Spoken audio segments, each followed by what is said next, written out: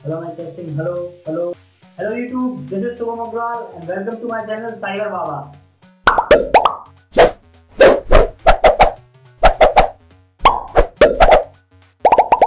so viewers आज मैं आपको इस वीडियो में बताने वाला हूँ कि कैसे आप एक सौ बारह रुपए में ऑनलाइन पैन कार्ड को बना सकते हैं। वो भी सिर्फ़ और सिर्फ़ आधार कार्ड की मदद से। ना तो यहाँ पर आपको कोई मार्कशीट लगेगी और ना ही कोई फालतू डॉक्यूमेंट, ना ही फ़ोटोज़ और ना ही कोई सिग्नेचर।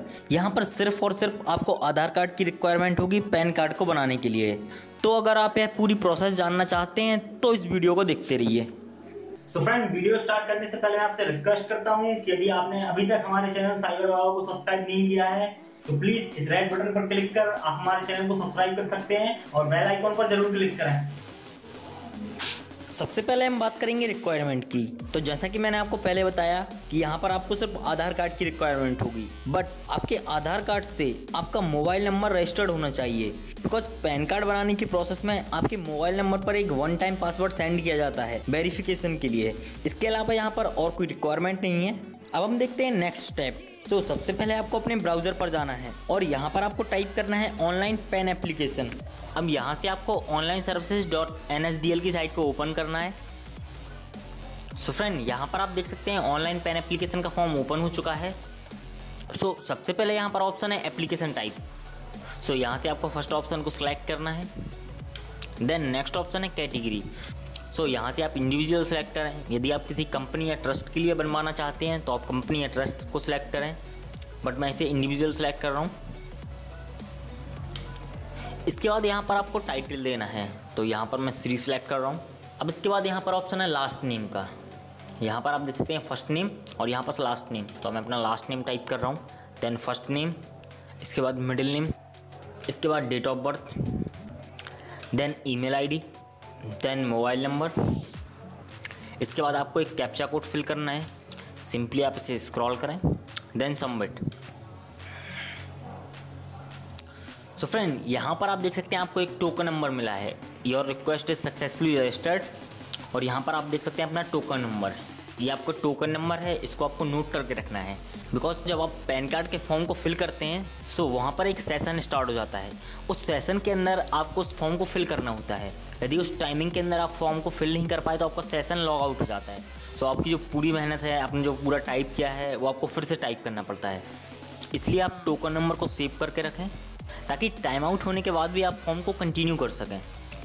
सो फ्रेंड टोकन नंबर को सेव करने के बाद आपको continue with PAN application form पर क्लिक करना है। तो यहाँ पर आप देख सकते हैं आपका जो फॉर्म है वो फाइव स्टेप में कंप्लीट होगा। तो फ्रेंड सबसे पहले आपके सामने तीन ऑप्शन आ रहे हैं। यहाँ पर आप देख सकते हैं फॉरवर्ड एप्लीकेशन डॉक्यूमेंट फिजिकली मतलब आपको फिजिकली सबमिट करने होंगे अपने डॉक्यूमेंट को।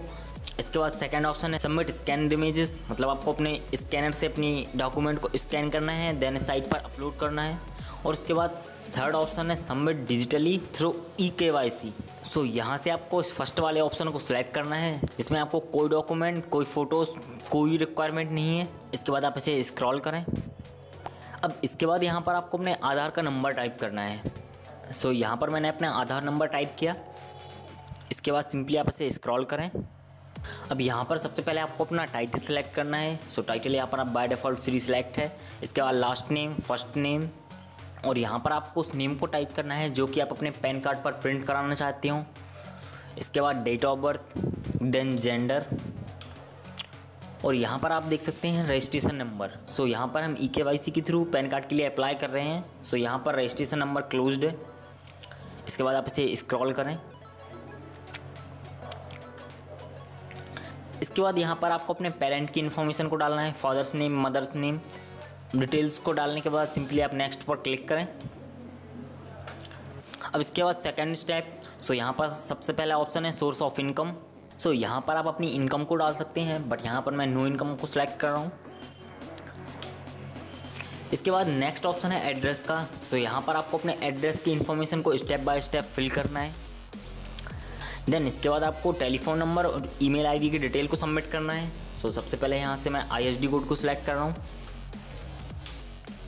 Plus nine one. इसके बाद आपको अपना टेलीफोन नंबर टाइप करना है देन ईमेल आईडी और इस इन्फॉर्मेशन को फिल करने के बाद आपको नेक्स्ट बटन पर क्लिक करना है।